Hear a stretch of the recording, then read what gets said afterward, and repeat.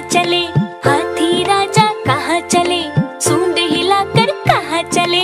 मेरे घर भी आओ ना हलवा पूरी खाओ ना मेरे घर भी आओ ना हलवा पूरी खाओ ना आओ बैठो कुर्सी पर, कुर्सी बोली चटर पटर। आओ बैठो कुर्सी पर, कुर्सी बोली